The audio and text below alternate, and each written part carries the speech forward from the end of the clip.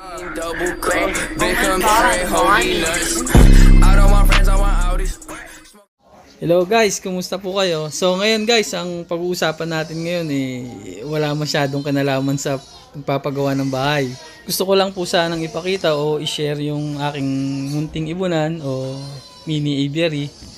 Kasi isa po ako sa mga Pilipinong nagbakasyon at na-stranded dito sa Pinas gawa ng, ah, ng ah, COVID-19. So for almost 4 and a half months din ako dito sa Pinas.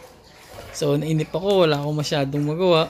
So, ang ginawa ko, para hindi masyadong mainip, nag-alaga ako ng mga lovebirds. So, ito yung aking mga lovebirds, ang aking munting aviary. So, gusto ko lang sanang ipakita sa inyo para baka rin maibigan yung mag-alaga ng ibon. Maganda rin siyang pangtanggal ng stress. O pwede rin siyang ibenta kung meron kayong ah, lisensya sa pag-aalaga at sa pagbebenta nito.